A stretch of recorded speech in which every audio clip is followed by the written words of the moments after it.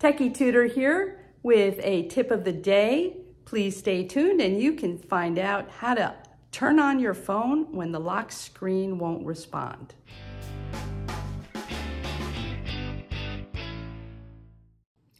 Lately, I've been having trouble with my phone not waking up when I tap it. This happened recently after I did an update.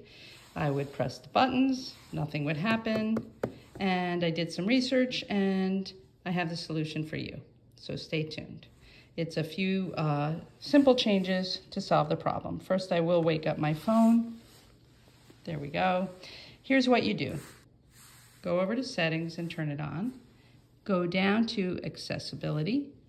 And then in accessibility, you're going to go to touch and then go down to tap to wake. If this is off, then you're going to find a frustrating experience where you'll tap, tap, tap, and nothing will happen.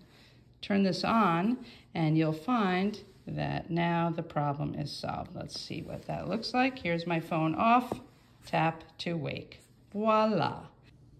If you found my video helpful, please press the like button and subscribe for more. Feel free to leave a comment in the comments with a suggestion for a future video.